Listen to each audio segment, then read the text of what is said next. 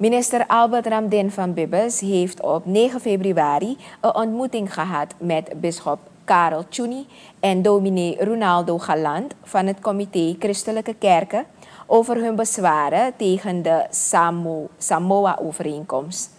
Ramdin legt uit dat de overeenkomst geen mensenrechtenverdrag is, maar een partnerschapsovereenkomst voor samenwerking op verschillende gebieden.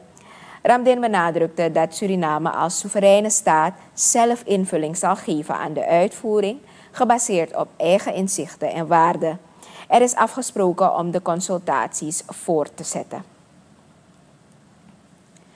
President Santoki van Suriname benadrukt het herstel van het land dankzij goede dialoog en samenwerking met diverse organisaties.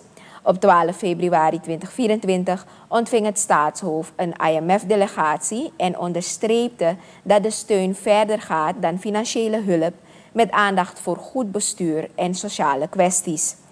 De behaalde economische resultaten moeten voelbaar zijn voor de bevolking met positieve indicatoren zoals stabiele wisselkoersen en economische groei.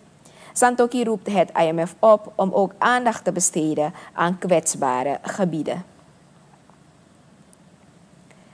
De politie van het bureau Henaar heeft gisteren na een telefonische melding vermoedelijk menselijke resten gevonden op het terrein van een reisbedrijf in de Middenstandspolder.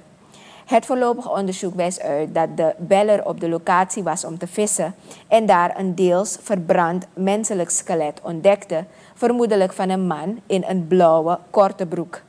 Diverse politieeenheden van Regio West hebben de plaats onderzocht en de recherche van Regio West zal het onderzoek voortzetten.